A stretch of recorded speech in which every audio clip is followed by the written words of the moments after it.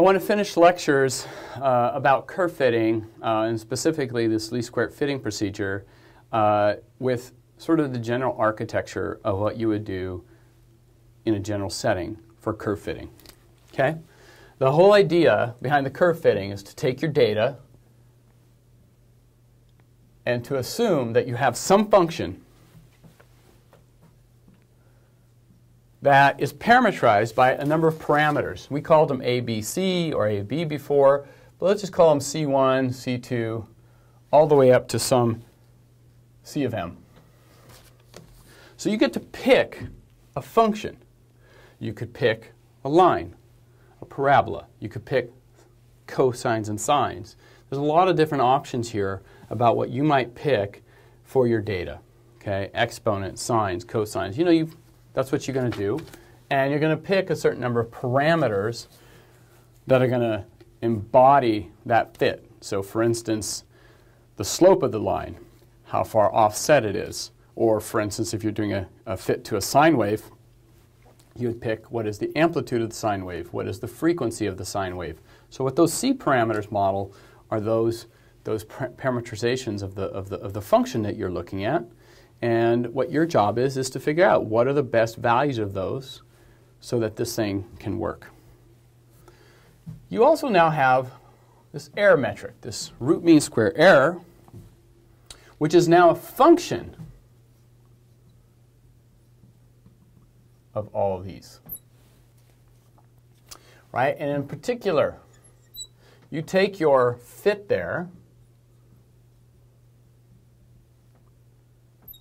and you take it minus the actual data points, and this is at each x of k, and you're squaring that. What you'd like to do is minimize that sum. This is your error, and you want it to be as small as possible.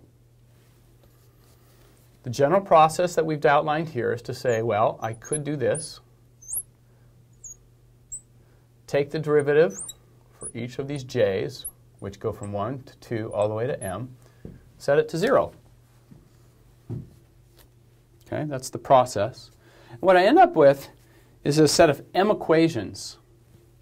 And the problem with the m equations I get out is that they could be, in fact, nonlinear equations. If you, if you pick this to be a polynomial, I'll get an m by m system of equations that I can easily solve using the backslash command in MATLAB.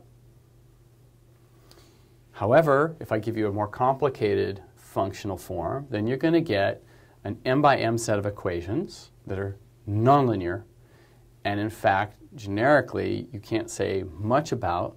You hope that there, in fact, are solutions that minimize that, and that's generally true. But there might be many solutions that work, and some of them that are quite wrong.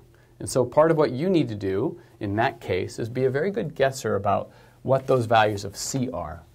And if you know how to pick your C's in a reasonable manner, then it could be that you can actually write uh, an algorithm that converges to the minimum solution uh, with this. So that's the basic outline. You should always have this in your mind about what are you really doing at the heart of everything when you do least square fit. You're picking a function,